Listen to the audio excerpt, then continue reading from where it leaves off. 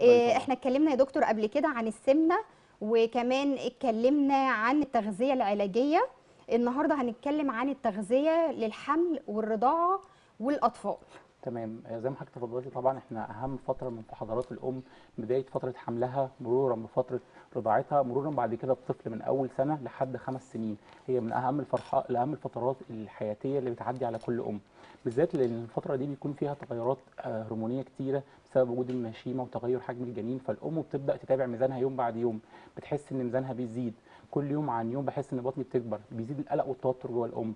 طب إيه الأكل المسموح وإيه الأكل الممنوع ليك كأم؟ هل أنا لو زودت في أكل السكريات هل ممكن اتصاب باي بعض الأمراض؟ هل لو أنا زودت في أكل الحوادق هل أنا ممكن اتصاب بعض الأمراض؟ لذلك إحنا بننبه على الأم إن الفترة دي اسمها فترة الأمان. لازم نحافظ فيها كل حاجة بتعمليها في حساب. كل شهر من شهور حمل حضرتك لازم ندخل فيها أكلات معينة عشان تحافظي على سلامة حضرتك وسلامة الجنين تمام يا دكتور. حضرتك.